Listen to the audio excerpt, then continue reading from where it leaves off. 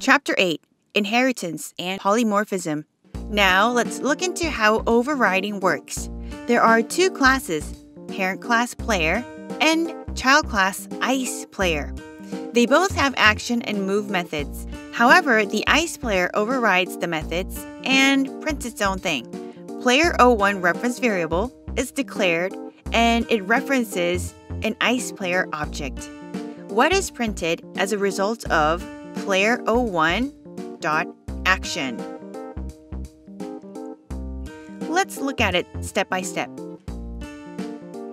Because player 01 object is an ice player object, player 01 dot action calls the action method from the ice player class.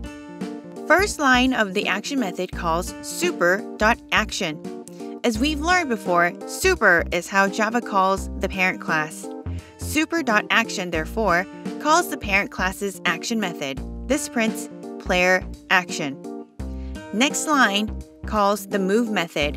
Hmm, which move method will this invoke? The one under the parent class or the one under the child class?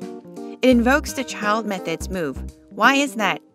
Out of the two, the more specific method is called, which is the child class's method. This move method prints ice player moving. This completes the first line of the action method. Now let's go to the second line. It prints ice stars.